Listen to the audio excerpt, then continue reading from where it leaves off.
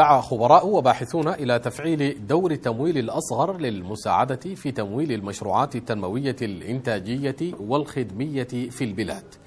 وأكدوا خلال مشاركتهم في منتدى إشراق ضرار الشهري الخامس للتمويل الأصغر الذي نظمته جمعية مؤسسات وبنوك التمويل الأصغر السودانية بالتعاون مع هيئة تنمية الصناعات والأعمال الصغيرة. دعوا إلى ضرورة تفعيل آليات التمويل الأصغر لتحقيق التنمية وبحث سبل تفعيل برامج ومشروعات التمويل الأصغر وتقييم التجارب السابقة وقياس مدى الاستفادة منها. ذلك فضلا عن دورها في دعم الاقتصاد الكلي للبلاد. في ذات السياق أشاد النائب الأول لرئيس الجمهورية السابق علي عثمان محمد طه بالإنجازات التي حققتها تجربة التمويل الأصغر بالانتقال من المحيط الاجتماعي إلى الاقتصادي الرسمي داعيا إلى مزيد من التنسيق والترتيب للأولويات التي بنيت من أجلها فكرة التمويل الأصغر. الآن بلا شك أن دائرة الفقر تتسع حسب المعدلات الرسمية لأجهزة الرصد الاقتصادي والاجتماعي ومن ثم تتضاعف المسؤولية على مؤسساتكم لإدخال هذه الدائرة الواسعة في دائرة الإنتاج والإنتاج الكبير. يعني لا بد من أن أن نفكر في هذه المسألة ونطور الآن المشروعات التي تنتقل من الإنتاج الزراعي إلى القيمة المضافة في التصنيع كما هو الحال هنا ثم إلى ريادة الأعمال لتصبح شبكة واسعة من الأعمال التي يمكن أن تكون أساسا للاقتصاد. لأنه فكرة بناء الاقتصاد على المشروعات الكبرى فقط هذه فكرة الآن صارت محل نظر ومراجعة في كل في كل المدارس الاقتصادية. وتراهن الدولة على مشروعات التمويل الأصغر في تخفيف حدة الفقر ومحاربة البطالة ورفع مستوى المعيشة وتحسين البيئة والتنمية المجتمعية. الأمر الذي يفسر اهتمام أجهزة الحكومة في كافة مستوياتها لتقديم الدعم والمساندة لمؤسسات التمويل الأصغر. في إطار توجه الدولة نحو تفعيل التمويل الأصغر وتقييم الأداء في دعم الشرائح الفقيرة. ناقش منتدى إشراق ضرار للتمويل الأصغر الخامس الذي نظمته جمعية مؤسسات وبنوك التمويل الأصغر السودانية بالتعاون مع هيئة تنمية الصناعات والأعمال الصغيرة واتحاد المصارف السوداني. تجربة التمويل الأصغر والصغير بعنوان القيم المفاهيم والتطبيقات. تأتي أهمية التمويل الأصغر في هذا الإطار في أنه هو الأداة والوسيلة المهمة الآن والاستراتيجية.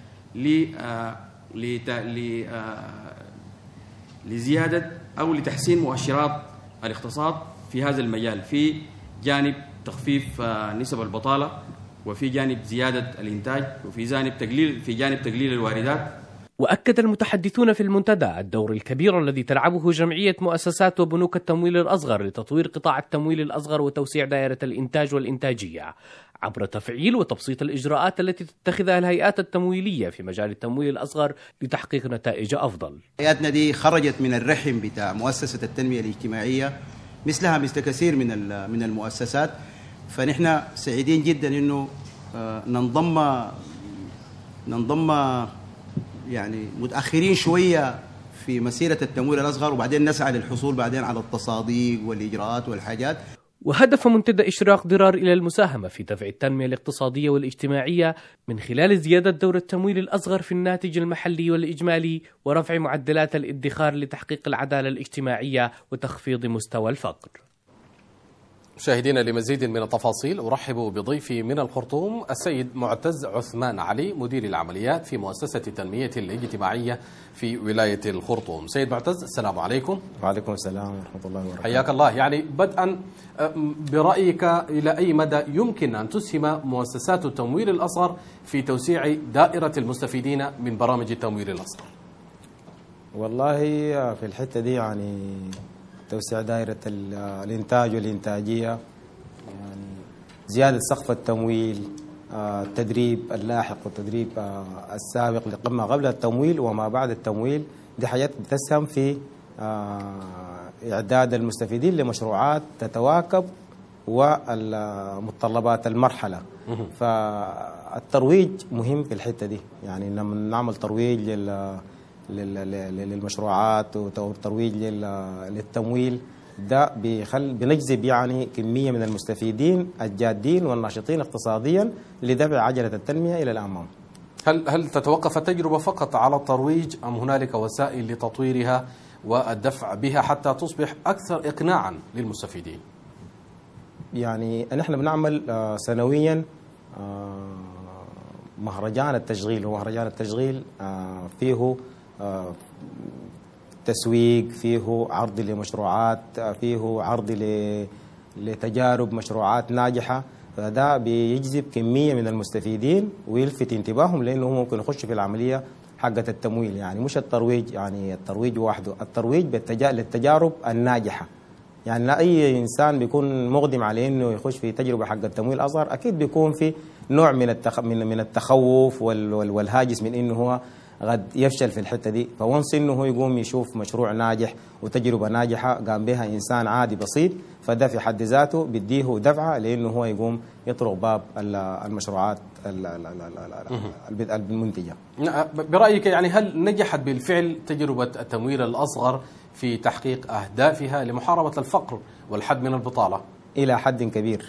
إلى حد كبير يعني مثلا تجربة مؤسسه التنميه الاجتماعية لما بدأت في 97 مهم. وهي طبعا مؤسسة من أكبر المؤسسات ومن أقدم المؤسسات ال- اللي اشتغلت في مجال التمويل. يعني المؤسسه دي انشات آه، في العام 1997 حتى 2007 العشر سنين الأولى آه، كانت مشروعات أسر منتجة. يعني هي في حد ذاتها هي التمويل الأصغر يعني. المؤسسة يعني لما أقدمت على التجربة الأولى دي ده كان دافع ومحفز لإن هي تكون أكبر مؤسسة ناجحة في عملية التمويل الأصغر من بدأت في 2007 حتى 2017 يعني المؤسسة أثبتت انها هي فعلا صاحبة الغدح المعلى في في برنامج التمويل الأصغر من خلال قاعدة كبيرة من المستفيدين. يعني المؤسسة في البداية وأو غالب المؤسسات لكن أنا بتكلم عن المؤسسة المؤسسة الاجتماعية بالذات لأنها هي المؤسسة الأقدم في المجال ده.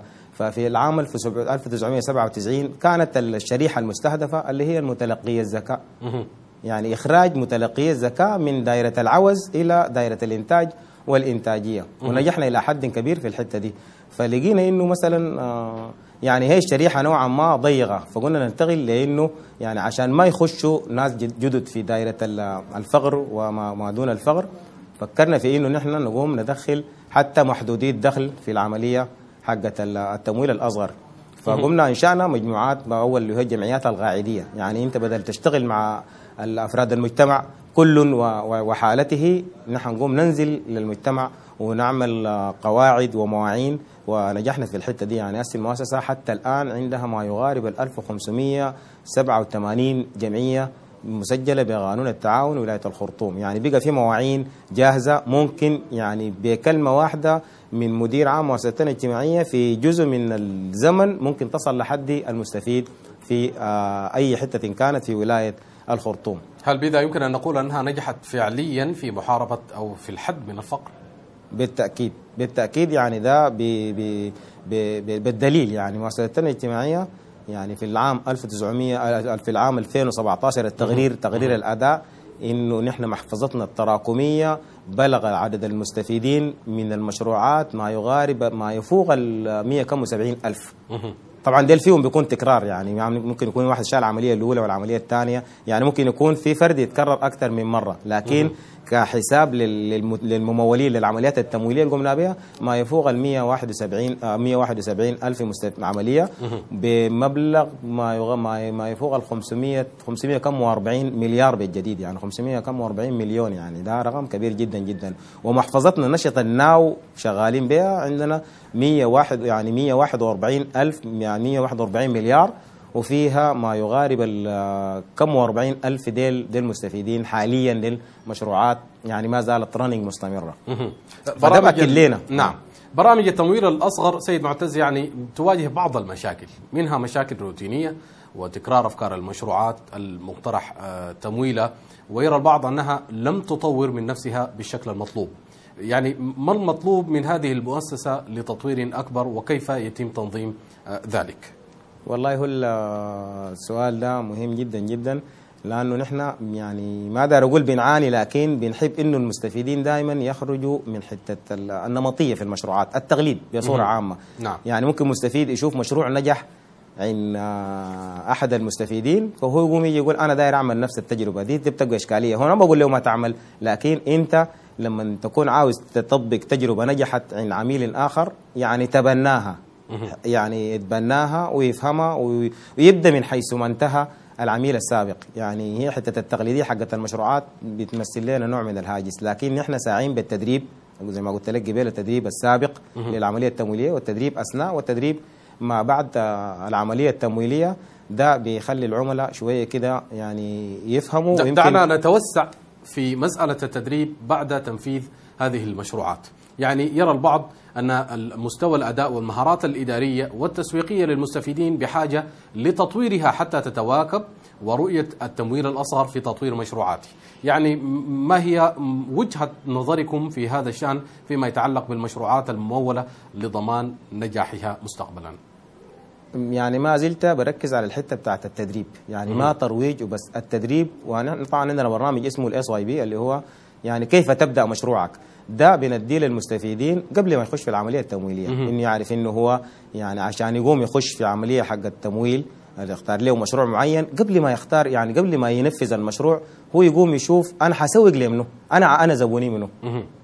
لكن ما أجي أخش أنا في مشروع حتى بعد ذاك أقوم أفكر في إنه أنا داير ابيع لمنه دي الإشكالية. نعم. لكن نحن لما نعمل لهم الدوره التدريبية حقت ال SYB دي دي بتخليه يحدد إنه هو فعلا داير يبيع شنو ولمنه واخ- واختيار المشروع ذاته حسب آه، مؤهلاته وحسب البيئة الساكن فيها وحسب يعني استطاعته المالية. يعني مرات في مشروعات بتحتاج لأن أنت مثلا تقوم تدعمها ماليا منك. أثناء المشروع ما بعد المشروع بنقوم نديهم دوره ثانية اللي هي ال IYB اللي هو ال improve your business يعني كيف تطور مشروعك. يعني نحن ما قاعد يعني نبعد من المستفيدين. يعني بندربهم يعني تدريب يعني مرات بيكون حتى في شكل ونسة. يعني نحن من بداية تسجيل الجمعية لحد ما هو يتمول حتى اللقاءات اللي في المكتب. يعني أثناء ما هو بيكون قاعد مع ضابط الائتمان أو أخصائي الائتمان أو أخصائي التنمية ده نحن بنعتبره ذاته جزء من التدريب. لأنه بيناقشوا وكده يعني ما بنشتغل شغل بتاع إنه مثلا أنت داير كده أنا أديك. لا يعني في في في تجاذب.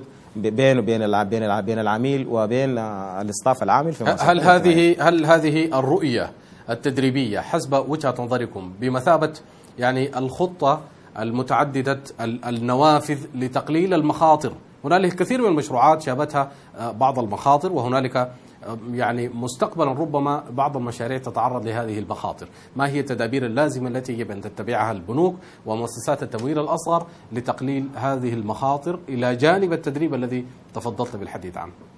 طيب اللي هي تدابير عشان ما ما يحصل أي انهيار أو كولابس لأي مشروع من غير التدريب السابق والتدريب اللاحق اللي ذكرته قبل يعني بيكون في تأمين للمشروعات. يعني مفترض أعمل تأمين للمشروع باعتبار إنه حصل أي ريسك أو أو حصل أي حاجة ممكن التمويل يعني يعني ما بتكون ما بتكون فقدت ما بتكون فقدت المشروع. لكن أنا داير أركز في إنه نحن مثلا تجربتنا في المؤسسة اللي هي بتعتمد على التدابير دي بتعتمد على شنو؟ بتعتمد على ضابط التنمية أو ضابط الأخصائي التمويل. يعني أخصائي التمويل بيكون لصيق بالعميل يعني في كل خطوة. يعني ما معناها اداه التمويل وبس هو تبقى العلاقة ال link هنالك هذه أيوه المشروعات. أيوه المتابعة الله يفتح عليك. يعني بيكون في متابعة وباعتبار إنه حتى العميل يعني بيكون في relation بينه وبين ال بين ال بين بين أخصائي بين أخصائي ال- ال- التمويل. علاقة. يعني ادعس لو في حصل أي حسه بينه المشروع ده داير يتعسر داير يعني في أي حاجة كده بطوالي بيكون شنو؟ معاه باتصال يعني على طول. يعني يعني يعني ممكن يلقى النصح يلقى إنه مثلا المشروع ده حصل يعني حس بأي حاجة ممكن هو يلحقه يعمل شنو كده يعني. لكن ما بنبعد منه يعني. متابعتنا متابعة لصيقة. يعني علاقة يتعلق- بين يعني علاقة يعني ما ما علاقة ممول مع عميل يعني. هي علاقة يعني نحن لما عملنا دراسة رصد الأثر. يعني كل الناس بيتكلموا عن إنه نحن زي كأنه جينا بيتنا. يعني ما جينا وقفنا قدام موظف ويتعامل معنا بمستندات. لا يعني جينا حسينا بإنه يعني ناس فعلا دار يخدمونا يعني. فيما يتعلق بالبنوك يعني ما هي الضمانات التي يجب أن تتوفر للبنوك لاسترداد هذه الأموال؟ والله الضمانات طبعا بتختلف من كل مؤسسة و- وضمانات المؤسسة التمويلية سواء كان مؤسستنا أو غيرها والبنوك. بت- بتختلف نوعا ما. يعني مثلا في نحن الضمانات الاساسا المتاحة كلها. يعني مثلا في ضمان ال- ال- ال- ال- ال- ال- الشيكات في ضمان شهادة مرتب في ضمان المملوكات في ال- ال- الرهن الأراضي في الحاجات النفيسة. لكن نحن مثلا في المؤسسة أو مؤسسات ال- التمويل بصورة عامة كده يعني بتركز على الضمان الشخصي. وضمان الطرف الثالث اللي هو الشيك وضمان المرتبات. ضمان الشخصي ده ده اللي هو مثلا للناس اللي ما بقدر يعني عشان أوريك إنه نحن في لينك بينه وبين العميل ما بنحس بإنه هو يعني بس أنا بديه قروش وهو يقوم يرجع علي. لا يعني نحن بن بنتابعه وبنشد من أزره عشان هو ينجح لأنه كل ما نجح أنا بحس بإنه أنا أخرجت إنسان من دائره الفقر ومن دائره العوز وبالتالي يعني دخلت إنسان جديد وعملته ناشط اجتماعي. فالضمان الضمان الضمان الشخصي ده يعني ال... يجي يجي الضامن يجيب بس آه، رقم وطني وشهاده السكن ويجي يمضى لنا نعم. يمضى لنا بس استمارة بس إنه هي ده يعني زي وصل أمانة. لكن ولكن دائما قاعد تكون تكون صغيرة. نعم. لكن يعني يعني عادي. يتخوف البعض من من هذه الإجراءات ل- لضمان تنفيذ هذه المشروعات. ويرى كثيرون أنها خرجت من المسار الذي خططت له ال- الهدف الأساسي الذي خططت له أو أقيمت من اجله هذه الفكرة فكرة التمويل الأصغر اللي هو محاربة الفقر. يرى البعض أن هذه الضمانات بمثابة القيود التي من شأنها أن آه، يعني آه، يعجز الكثيرون في الإقبال أو لا يفكرون في مجرد الإقبال على آه، تنفيذ هذه المشروعات مع مؤسسة تمويل الأزهر والله معلش أسمح لي لأنه من خلال تجربتنا ما نحن يعني قلت لك يعني حتى ما بيلقى شيك عشان يضمن زول بشيك سواء كان منه أو من من من من المحيط اللي حواليه. وما لقى زول يضمن بشهادة مرتب أنا بوفر له التمويل بالضمان الشخصي. يعني لا شيك ولا شهادة مرتب. يجي زول بس من عائلتك من جيرانك من أصحابك من زملائك اختها تضمنها أمها تضمنها يعني بس بالمستند ده. يتخيل لي ثاني أكثر من كده؟ طيب ما هو دور شركات التأمين في حماية العملاء من خطر الإعسار اللي هي دائما نحن نحب لنا شركات التأمين يعني يعني عندنا نحن ذاته اتفاقية مع شركة السلامة لل للتأمين عشان نقوم نمول المشروعات اللي فيها ريسك يعني المشاريع الزراعية المشاريع مشاريع الإنتاج الحيواني يعني عندنا مشروعات كثيرة. فدي هنا العميل لما يعرف إنه في في في في تأمين على المشروع أكيد بي- بيخدم عليه. لأنه يعني في ناس كثيرة بتخاف من إنه هي تخش المشاريع الإنتاجية الضخمة يعني سواء كانت مشاريع إنتاج حيواني أو أو أو إنتاج زراعي. لكن لما نحن يحس بإنه العميل يعني في في في ضمان أو في جهة بتتعهد بإنه لو حصل أي كولابس للمشروع ده يعني هو ما مساءل ويعني مشروعه ممكن يقوم من تاني دي دي دي دي, دي, دي اللي حتقوم بها شركات التأمين. وشركات التأمين دائما بتأمن بتأمن على ال- المشروعات خاصة الإنتاجية منها. وده اللي حاجة بنزعل عليها نحن زي- يعني في مؤسستنا الاجتماعية من منطلق آه، الخرطوم عاصمة الإنتاج. يعني دايرين مع مشاريع يعني يعني تزيد في الإنتاجية. يعني ما المشاريع النمطية التجارية العادية. نعم هنالك بعض الآراء تتحدث عن تقليدية الإجراءات وبعض التعقيدات الإدارية التي لا تتناسب مع احتياجات العملاء. هذا في مسار ما بدأنا الحديث عنه في, في مجمل هذا الحوار. برأيك هل هذا الحديث في وجهة نظركم يبدو صحيحا أم لكم وجهة نظر أخرى؟ والله أنا قبل طبعا قلت لك في البداية لما بدينا لما بدأت المؤسسة بالذات أنا معلش يعني يعني حاتكلم ب- بصفة خاصة كده عن المؤسسة لأنه تجربة يعني عايشتها سنين نعم، عدة تفضل. يعني. فقلت لك كان بنعمل مشروعات اللي هي خاصة بال بال بال بال بال بال بالمتلقي الذكاء فونس إنه نحن نزلنا للمجتمع وانتشرنا بالكم الهائل اللي قلت لك من من العدد من الجمعيات المنتشرة في الولاية فنحن وصلنا الناس دي في بيوتها. يعني ممكن هل تتخيل أنا أنا واحد من الناس يعني ممكن اعمل نعمل الت- التدريب الأول حق ال- حق التنوير للجمعية ده يمكن نعمله في ظل شجره وحصل عملناه يعني نحن نمشي للناس في مناطقهم. ف فيعني انتشرنا. يعني دي ما دي ما فيها إشكالية وحتى الاجراءات دي. نحن ما قاعد نقيف يعني يعني مثلا أقول لك المناطق الطرفية دائما يعني مثلا المناطق الطرفية في الولاية فيها كثير بتلقى من انه التعقيدات فيما يتعلق أي- وما أيوه بس الله. يفتح عليك. يعني الأوراق الثبوتية بنلقى إنه الأوراق الثبوتية عايد عاي- عايق. يعني أنا مثلا آه، عشان امولك محتاج مثلا لشهاده سكن شهاده السكن already بتكون متوفرة لكن محتاج منك لرقم وطني. اللي هو مستند الجديد ده الرقم الوطني وسابقا كانت الجنسية. فنحن في المؤسسة عملنا مشروع اسمه مشروع الأوراق الثبوتية اللي هو ده اللي بيكون في area كاملة في المناطق الطرفية. ما عندهم أوراق ثبوتية. يعني بتلقى العائله تلقى ال- القريه كلها لا فيها. يعني المطلقة ما عندها شهادة ما عندها قسيمة طلاق المتزوجين ما عندهم قسيمة رقم وطني يعني ال- الج- الج- الجنسيات البطاقات القومية الاسي دي فقمنا عملنا مشروع على الاوراق الثبوتيه ده وبادرت به المؤسسة وما في يعني جهة آه، طرقت الباب ده قبل كده. بنسوق التيم بتاع وزارة الداخلية وبنشيلهم في مناطقهم. يعني في منطقتهم وبنمول نحن. يعني حتى لو ما عندك يعني ثمن الاستخراج ال- الأوراق دي نحن بنعملها له كتمويل هي مبالغه طبعا صغيرة يعني حاجة ما تتعدى ال 50 60 جنيه برضه نحن بنعملها له يعني كتمويل نديه تمويل ندفع له ندفع للوز... لل- للتيم العامل في وزارة الداخلية إنه يستخرج له يستخرج له ويجي يرجع لي آه، قيمة ال- الحاجة دي. بعده هو بيبقى ده بقى يعني عميل جاهز لأنه أنا أقوم أشتغل معه. لأنه طبعا الأوراق الثبوتية يعني لابد منها طبعا. هل أنتم راضون تماما عن هذه التجربة حتى الآن؟ والحمد لله. كل الرضا. ربما هذا يشكل عائقا في تطوير التجربة مستقبلا. هذه نظرة الرضا هذه.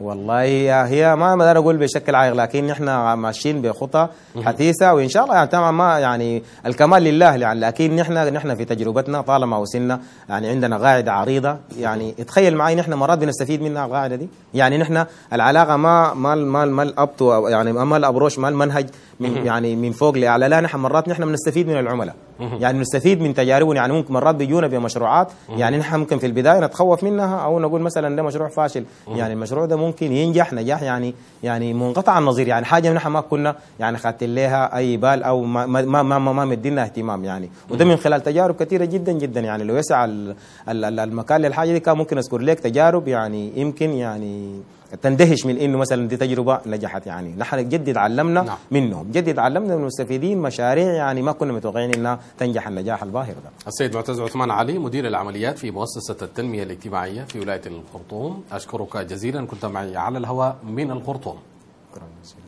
مشاهدينا عقب فاصل قصير نتحول وإياكم إلى أخبار الولايات الاقتصادية.